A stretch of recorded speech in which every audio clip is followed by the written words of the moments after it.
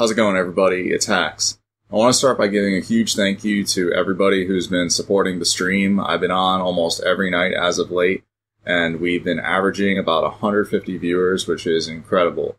As time goes on, I want to improve the stream however I can, and recently I've been getting a suggestion from a lot of people, which is to start offering coaching. So I'm excited to announce that from here on out, that's exactly what I'll be doing. It'll be $50 an hour.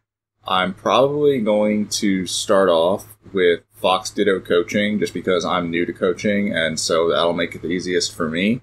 But as time goes on, I will make my coaching available to players of all characters. One thing I should let everybody know is that I think my coaching will be of major value when it comes to understanding game mechanics because if you've been following my YouTube channel for the past couple of years, then surely you know that I'm a game mechanics expert. And so I'm looking forward to leveling you up when it comes to the intricacies of the Melee game engine.